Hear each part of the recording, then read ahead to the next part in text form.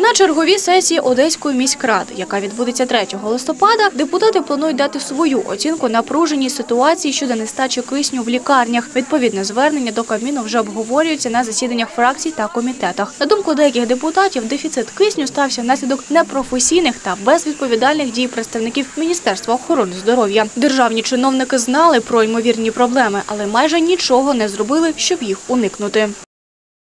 У нас ковид уже второй год.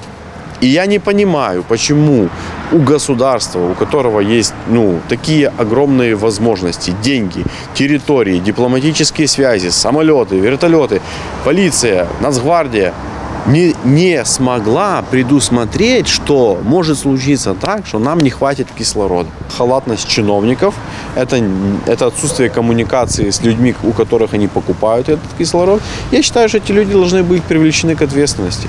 И как минимум это должно быть увольнение, а если из-за этого погибают люди, то это должна быть уголовная ответственность.